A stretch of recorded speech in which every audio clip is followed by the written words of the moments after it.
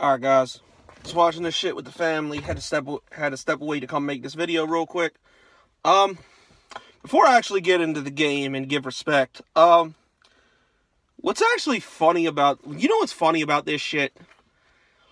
All week I've heard we had no fucking chance. You're gonna get blown out. We ain't shit. Everybody wants to see the Patriots and Steelers. Like Mac Main talking that shit, fucking saying we're gonna get blown out, we have no chance in hell, you're gonna get your ass beat. All this other crazy shit. Man, how did that shit work out?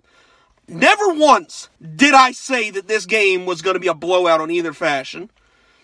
I knew, I knew it was going to be a very different game from week five. I mean, you guys are the fucking Steelers. You got a great team.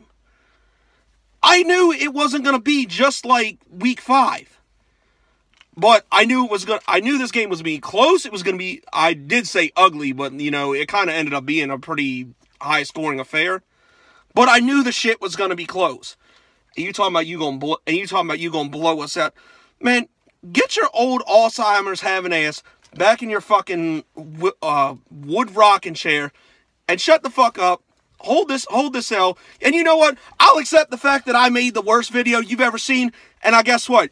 You can accept these two L's and the gift of Jaginoff. Drink it in, man. At Steel 58. Four videos you put out about me. And in one of them you said 31 to 3. You actually scored a little bit more than you thought. But you still but you still couldn't stop us. Leonard Fournette ran all over your ass and Blake Bortles played good. So it was a good it was a good week, buddy, but you're on the short end of the stick. Pops. Well, actually, now I guess you can call me daddy now, motherfucker. but anyway, to the rest of you guys, you know, shout out to Steel Maiden, Steel Matic, um, Steel Jackson, Eric of Steel, Bruin Steel. I'm trying to think of who I'm trying to think of who else. The Renegade you know, this was this was a really fun week, man. And I was excited for this game. And you know what?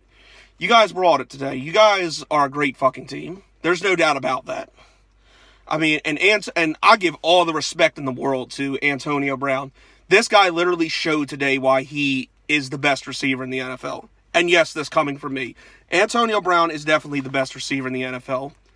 He was putting up numbers and making ridiculous catches on you know, Jalen Ramsey and AJ Bouye, two of the best cornerbacks in the league. So, all the respect in the world to Antonio Antonio Brown and um, Ben Roethlisberger. You could tell he you could tell he wanted it, man. You really could tell. He went from having one of the worst games of his career to Week Five, did in a losing effort, putting up huge numbers and played a great game. There's no doubt about that. But it was just something about this game where we wanted a little bit more. Like I said, Blake Bortles, he played very good today. You know, 200 yards and a touchdown. I know it wasn't spectacular, but you know, that's really, you can't really expect that from him. This is the kind of game we needed from him. The guy, and like I've been saying, Blake Bortles is not a great quarterback. He probably never will be an elite quarterback. But he found the way to win. Period. And in a game like this, that's all you can ask for. And uh, Leonard Fournette might have had one of the best games of his career today. Like, over 100 yards, three touchdowns. Guy was amazing.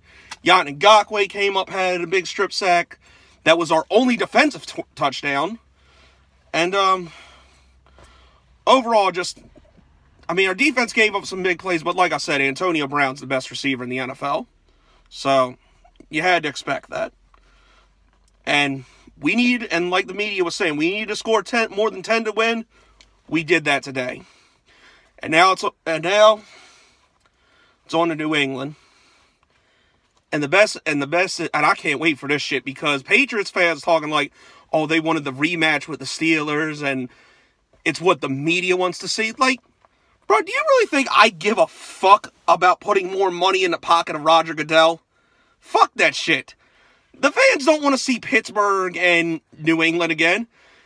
I don't know if you guys realize, but outside of Boston, the rest of the fucking league hates you. And I think the and you know what? Probably every other fan base is going to have our back. So Get ready for this shit. And you talking about the media wanting to see it. That's just another way of saying you don't want to play us because you knew you, we are your biggest threat in the AFC. And I'm not saying we're definitely going to win this game. Because, you know, it's the Patriots. Tom Brady's a great fucking quarterback. Bill Belichick might be the greatest coach of all time. I mean, you know, I'm not saying we're definitely going to win this game. But we're going to give you a lot more of a fight than what the Titans gave you. I promise you that. So, I'll see y'all back when I make the video about the about the Patriots. But for now, I'm going to celebrate this shit, man. And the bet was... This season's been incredible, man. And, um... Hopefully this isn't the end, but we'll see next week. Until then, let's go Jags. Shout out to genjag.com. And Let's go Jags.